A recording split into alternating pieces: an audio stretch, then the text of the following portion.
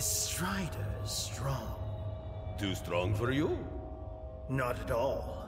But he has already defeated the North Wind. The Grand Master is resurrecting all of the winds. They will succeed. They are not enough. Even with North, they are not enough. Afraid they'll steal your prize? No. I simply await the inevitable.